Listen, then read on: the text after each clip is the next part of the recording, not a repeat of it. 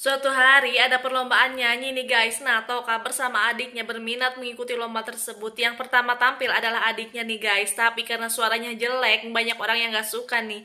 Nah yang kedua adalah Toka. Toka suaranya bagus guys. Sampai-sampai dia menjadi pemenang. Sampai akhirnya ada produser nih yang datang untuk menawarkan debut pertama Toka menjadi penyanyi. Nah guys, kalian yang sayang sama kakak, semoga kakak kalian selalu sehat ya guys. Nah lanjut guys, ternyata di sini si Toka sudah menjadi penyanyi yang terkenal guys, sampai-sampai fotonya terpampang di mana-mana nih guys. Si adik merasa jengkel. Nah sampai-sampai banyak fans yang datang ke rumah Toka memberikan hadiah. Nah orang tuanya pun bangga nih guys. Tapi suatu ketika si Toka akan memberikan hadiahnya kepada adiknya ditolak dong sama adiknya malah dibuang itu hadiahnya nih guys.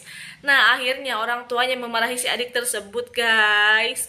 Waduh kok si adik kayak gitu ya guys iri banget nih sama si Toka.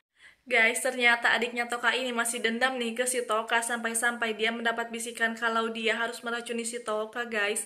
Kira-kira dilakuin ya, guys. Ternyata hal itu dilakuin nih sama adiknya Toka, guys. Dia mencampur racun ke dalam minuman Toka lalu dikasihkan nih ke si Toka. Saat akan diminum sama si Toka, adiknya ini kemudian mengingat semua kebaikannya si Toka, guys. Sampai-sampai itu gelas dibuang dong sama dia sendiri.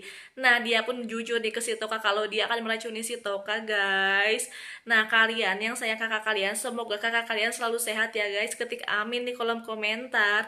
Nah lanjut ternyata di sini si Toka baik guys. Dia mengajak adiknya untuk les vokal supaya dia bisa bernyanyi guys. Dan benar saja dia berhasil nih. Sampai suatu ketika Toka dan adiknya ini nyanyi di tempat umum nih guys. Sampai-sampai orang tua mereka bangga nih guys hari guys, ibunya Toka ini lagi bekerja menyapu di taman. Nah, hasil pekerjaannya itu uangnya ia tabung guys. Tapi ternyata uang itu dicuri dong sama si Toka guys.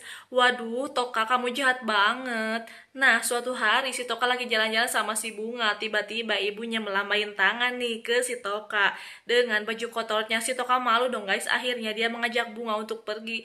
Si ibu kaget dong melihat perlakuan anaknya. Kemudian dia ingin memakan obat. Tapi obatnya habis lalu dia pulang nih akan membawa uang untuk membeli obat. Tapi ternyata uang itu dicuri nih guys sama si tukang nggak ada di tempat guys. Si ibu pun pingsan nih guys.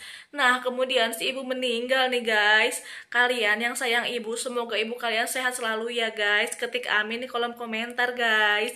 Nah lanjut guys, si Toka pun pulang. Dia kaget dong melihat ibunya terbujur kaku.